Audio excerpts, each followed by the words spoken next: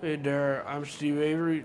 For those that don't have the Netflix show, I done been convicted twice, once of a rape and assault, and then another time for the murder. I didn't do nothing, but this ain't even about me. It's about all the folks in Manitowoc County who've been charged with things they didn't do. So maybe you should talk to some of them, some of them folks. Hi there, name's Norm Malone. I used to drive bus for Manitowoc County over Lincoln High. Go ships.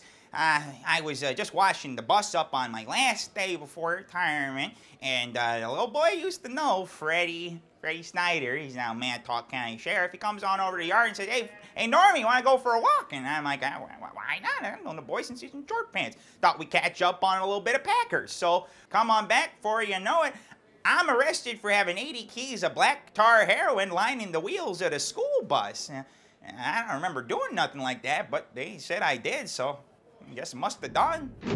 So there I am, just scrapbooking away. I hear a knock on the door. It's Detective Link. I said, Hey, Detective Link. I said, Hey, Charlie, why don't you go and see if there's anything going on in the backyard? I said, I don't think there's anything going on back there. But I opened the door, and sure enough, there's a rare crimson crested finch. I said, Oh, golly, I better grab my binocs. That's some good bird viewing. Next thing you know, I'm being handcuffed and taken down to the station for running a child pornography ring out of my garage. You did it! No, I didn't do it.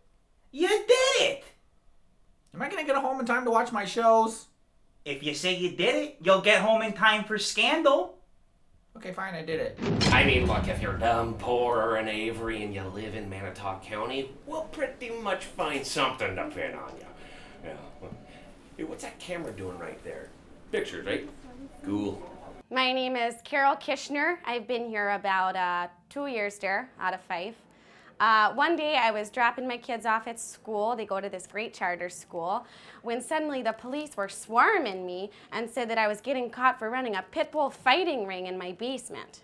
Now, I've never met the man, I've never even heard his music, but if he's up to no good on my property, then lock me up and throw away the key. They were like, You're going down. And I was like, Timber! Well, I'm Alan Skaletski, and uh, been one of the bad boys of B Block here since 09. They got me locked up for being a serial strangler. Now, how my fingerprints got on the necks of all those poor dead gals, I'll never know, because I was born with no hands, you see.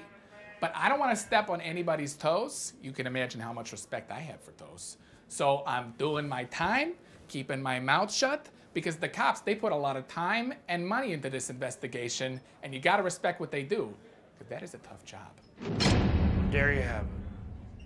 So next time you think you see a murder, there might not, it might have been made into one.